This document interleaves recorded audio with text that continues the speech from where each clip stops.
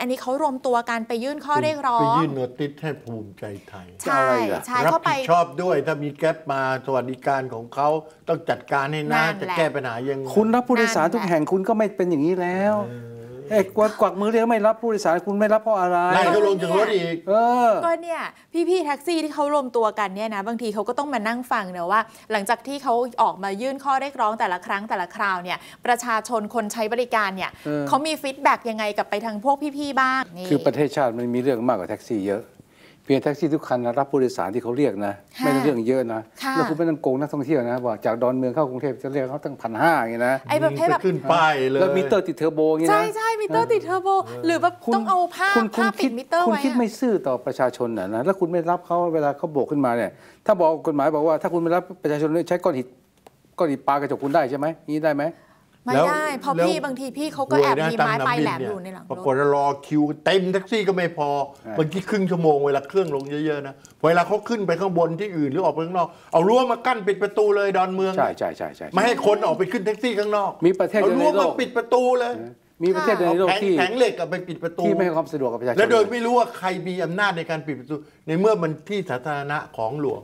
ค่ะประตูดอนเมืองเนี่ยคนเดินข้ามไม่ได้ มีผู้หญิงเขาลำคาญก็ปีนข้ามไปเลยอย่างเงี้ยจริงเหรอจริงปิดไม่ให้ออกเนี่ยไม่ให้ออกใช่เพราะเราจะคนบังเยคับอะว่าๆเพื่อบังคับต้ต้อองงไปไปเรียกขึ้นแท็กซี่ข้างในในวินเขานี่คือใช่ความยอดเยี่ยมของทอทการท่าอากาศเฮ้ยยานแล้วไทเรายไปร้องเรียนได้ไหมเขามีเครือร้งรียข่านยของเขามีโควต้าอ่าเขามีระบบเขามีคุมไงมีสัมปทานอย่างนี้เราไปร้องเรียนตำรวจท่องเที่ยวที่อยู่ในท่าอากาศยานได้ไหมตำรวจท่องเที่ยวมีมีแหยมอะไรแหละเราต้องร้องเรียนอดีตตำรวจท่องเที่ยวเออเสียดายว่าเขาไม่อยู่ไม่อยู่แล้วไม่อยู่แล้วเดี๋ยวก่อนไหว้พระอยู่เขาจะแก้ไขปัญหาได้เขาจะกลับมาไม่เรื่ใช่องเหรอเลได้ข่าวยกลับมาไม่ใช่เหรอโอ้ยแล้วตอนนี้ก็เห็นว่าสองก็คนก็นี่แหละเสียแล้วประสางไอ้ที่อะไรนะสวนภูมิปิดประตูห้ามเอากระเป๋าออกเข้ามาไอ้ตรงที่เวลารถแท็กซี่จอด คือในโลกนี้นะประเทศไหนแท็กซี่เขามาจอดเขาก็ขึ้นกันได้ทั้งนั้น ไม่แต่ว่าแท็กซี่ประเทศไทยนี่ห้ามที่ลงทะเบียนวินอยู่ตามท่าอากาศยานเนี่ย บางทีเขาก็ปฏิเสธไม่รับเรากดคิวนะเคยเจอใกล้ๆกดเขาก็ไม่คิวเอาแล้วนะ ใช่กดคิวแล้วก็พอได้คิว เราก็จะขนกระเป๋ายกขึ้นรถแล้วเขาก็จะแบบ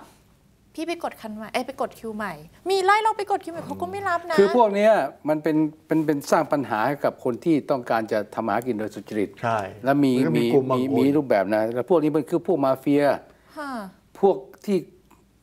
ทางการก็ไม่กำจัดให้หมดไปนะเออไม่กำจัดให้หมดไปแล้วก็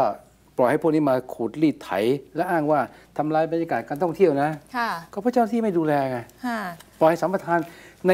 ในไปคุณไปสิงคโปร์ไปฮ่องกงเนี่ยมีแต่แท็กซี่ตอนไปที่คุณขึ้นไปปุ๊บเนี่ยนะแล้วลงไปคุณก็นั่งแท็กไปซี่ได้เร็วเลยเขาเรียกบอกว่ามานี่สบายใจใช่ไหมจะไปไหนบอกมาจะบอกไปมาไหนเขาดูว่าสบายใจโอเค คุณไปที่นี่นะคุณนักท่องเที่ยวใช่ไหมทะเบียนรถคันนี้เขาใส่มือไว้เลย เจ้าที่ก็เรียกให้ไปเลยบอกเขาไม่ต้องมาเรื่องเยอะเอ้ยนะอะไรไม่รู้มาเข้าคิวเข้าวิไม่นต้องนี่เขาหน้ามีที่ของคุณคุณก็คิวแท็จกดซี่เขาทะมีเบียนไปเอากล้องจับก็ได้ใช่ไม่ต้องอะไร ใครไปก็วนมาได้เลย ไม่ต้องเอมีอใครก็ได้พิเศแท็กษซี่ไม่ไหนมีก็โควได้ต้าไอ้นี่ต้องมีโควต้าหัวคิวค่าอะไรต่ออะไรใช่ใช่เออแล้วข้างนอกเข้าไปก็ไม่ได้นะ มีมาเฟียคุมแล้วก็ตีกันเละเทะนี่แหละนี่แหละนี่สแหวนละภูมิเห็นไหมทั้งสุวรรณภูมิทั้งดอนเมืองน่ะ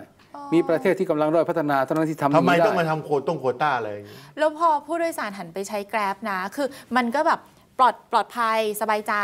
สะดวกกว่าแล้วไปแน่ๆแพงกว่าด้วยอะแต่ก็ยอมจ่ายเพราะมันอะยอมเพราะอย่างจ่ายที่บอกไปเนี่ยว่าแต่มันเขาเออตมัรนงสเวบายลาใจเรียกปุ๊บมาถึงปั๊บเดี๋ยวเดียวเขาและพาส่งไปถึงที่แน่นอนอะไรอย่างเงี้ยสบายใจกว่าก็ก็มีปัญหาอีกที่เราเจอกันเอ่อเห็นข่าวกันบ่อยเลยแท็กว่าซี่ให้ลุงคุณไปดูแลพวกแล้วเดี่ยวแล้วเองคนก่อนพวกนี้ก็ไม่กล้าก่ออาชญากรรมเพราะอะไรฮะเพราะว่ามี GPS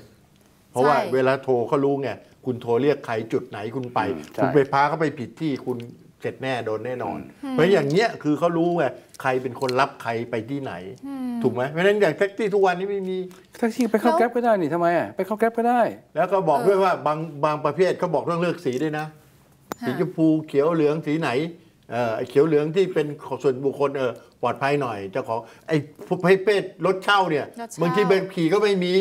บางทีคนต่างด้าวก็มาขับได้ด้วย เอ้าเรื่องจริงๆอย่างคือเงี้เจ้ายของรถแล้วก็มาปล่อยให้เช่ารถโจรมาสั่งหาเรื่องปล้น แล้วก็ใครบางขึ้ทีนมาสารของสากลสากลเถื่อนๆ ไม่ได้มีประโยชน์อะไรขึ้นมาเลยสากลบ้านเราสากลแท็กซี่อะไรแหละในทุนเนี่ยเจ้าของรถเป็นร้อยคัน แล้วมาบอกเป็นสากลนี่แหละ คือนี่คือการปล่อยให้เละเทะแบบนี้แล้วก็แก้อะไรไม่ได้เลย ไม่ว่าจะวินมอเตอร์ไซค์ก็ดีแท็กซี่ก็ดีห้าปีเนี่ยคุณแก้ไม่ได้เรื่อง ค่ะ แล้วพอพอจะมีทางเลือกใหม่ก็คือมี Grab เข้ามาเนี่ย รัฐบาลควรจะแบบจะแก้ไขยังไงให้มันแบบว่าอยู่ร่วมกันได้อะไรอย่างคือเงี้ยถ้ารัฐแก้บาลได้ไม่ไหมจะแก้ถ้าได้รัฐไหมบาลไม่มีปัญญาแก้เรื่องนี้นะค่ะคุณจะไปทำมาหากินอะไรได้ถามสิอะก็ไม่ต้องแก้คือปล่อยให้เขาตีกันไปฮะใครชนะเรื่องคนนะเรื่องอย่างนี้คุณเออถ้าคุณไม่หวังผลประโยชน์นะคุณก็ปล่อยให้ทุกคนมีสิทธิ์วิ่งได้นะไม่ต้องมีมาเฟียอะไรคุมอืมอืมอืม แล้วพวกคุณคุณแก้ไม่ได้อย่างนี้คุณจะไปทำมาหากินอะไรได้คุณจะไปพา 4.0 บ้าบอคอแตกอะไร จะไปอาซ่งอาเซียน เราไม่ทิ้งใครไว้ข้างหลัง ใครเดินตามพวกคุณไปถามเสียใครเดินตามก้นคุณไปคุณจะพาไปไหน หันมาดูด้วยพาไปลงหันมาดูด้วยเหวยังมีใครอยู่หรือเปล่าถังแตกนี่เงินถังแตกเงินคงคลังก็ไม่มีเหลือใครจะตามคุณไปค่ะ